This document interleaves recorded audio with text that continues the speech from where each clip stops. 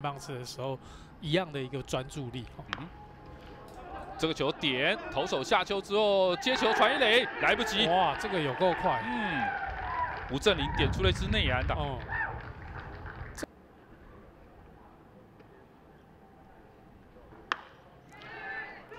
这个球界内，哇，赶快处理。这有的跑，这有的跑。对，以他的脚程上二垒应该是很轻松啊。两出局之后，吴振林敲出了一支反方向的二垒安打，攻上了得点圈。哇，那这样证明选手的一个打击技巧也好，还有他攻击上垒的方式哦，真的还蛮多元的哦。再加上有不错的脚程哦，这个都我我相信，虽然原本认为说碰到这个打者的时候是一个换头的时机哈。哎呦，三垒手没有办法拦截住这个球，当然打的也很强劲哦。